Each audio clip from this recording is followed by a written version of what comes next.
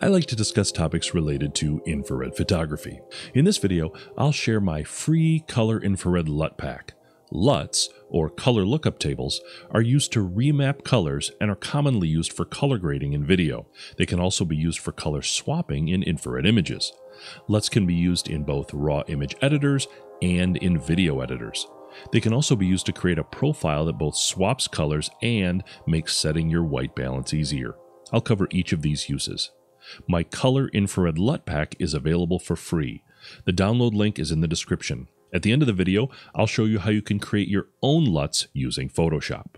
Okay, the first thing that you can do with a LUT is you can use it in another program to help you with a color swap. So for example, I'm in Exposure X6 and in this program, there's no channel mapping, there's no other good way to swap colors, but I can use a LUT. But if you don't have Photoshop, then you wouldn't be able to create a LUT. So you can use one of these LUTs to do that. So let's start. I'll go into Basic. And the first thing I'm going to do is select a profile. You can use the Adobe DNG profile editor to create a custom profile for your camera. That's free and you should download that and create profiles for your camera.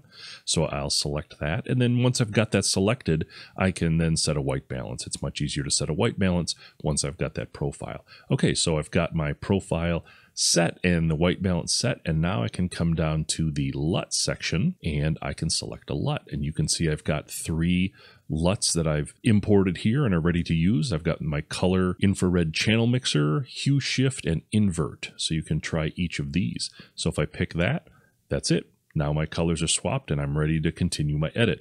So you can use this LUT in Exposure X6 or any other raw editor that will import LUTs if you use Adobe Lightroom, then you can use LUTs to really simplify your workflow. I'll start in Adobe Lightroom, and when I pull up this raw image, you can see that the colors are very red, and I need to do a lot of work to fix the white balance and then swap the colors. So by default, I have the Adobe Color profile, and the first thing that I want to do is select a custom profile that I created with the Adobe DNG profile editor in order to improve my white balance. So I'll select that.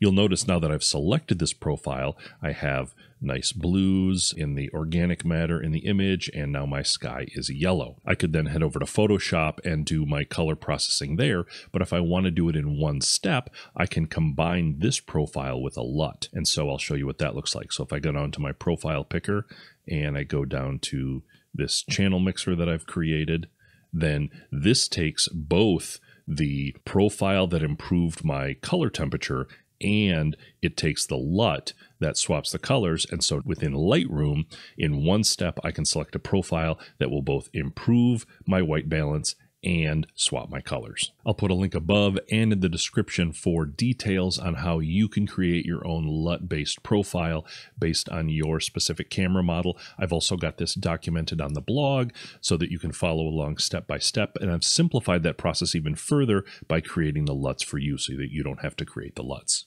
Next up, let's talk about using these LUTs with infrared video. Here's some video that I've shot with a 590 nanometer converted camera, and I've opened up the clips of this video in DaVinci Resolve. The process will be a little bit different depending on your video editor, but these LUTs should work in, in any video editor such as Adobe Premiere, etc.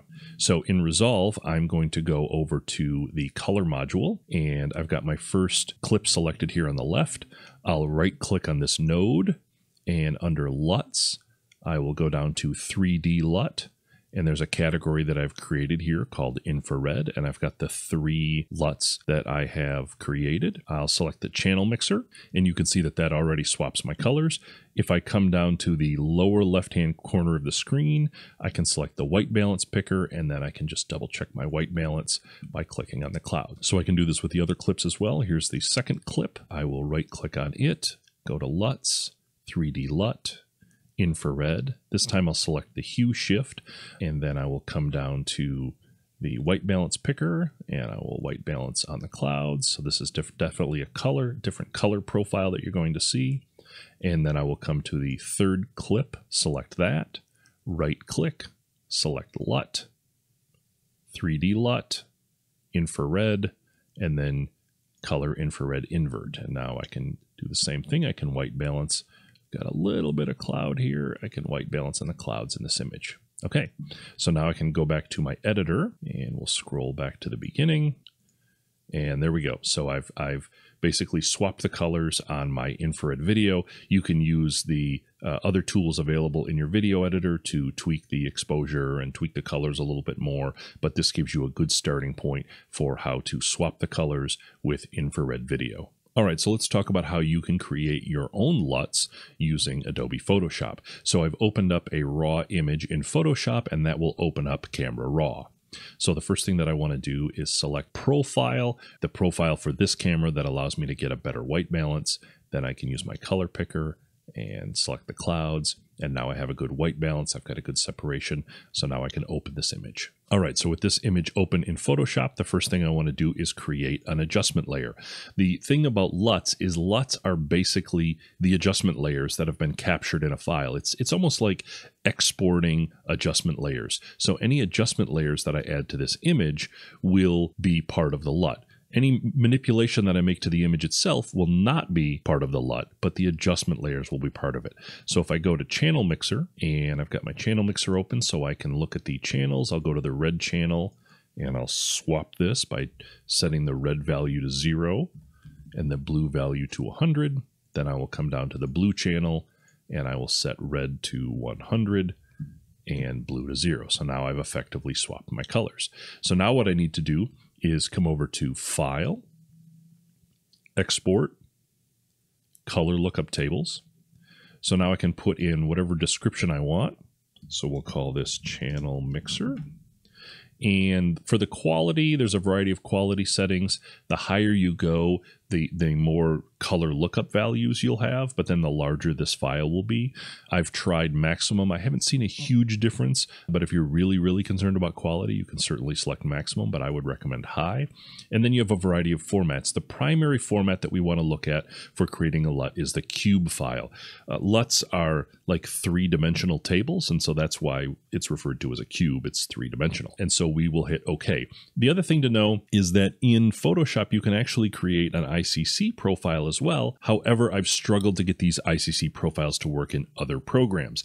The ICC profiles that I've created have worked in Photoshop and they'll they'll replicate the the color lookup table in Photoshop and swap my colors, but they won't work in other programs. So they won't work in say Capture One, which will use ICC profiles. So I'm still looking for the reason for that or maybe a better solution for creating ICC profiles.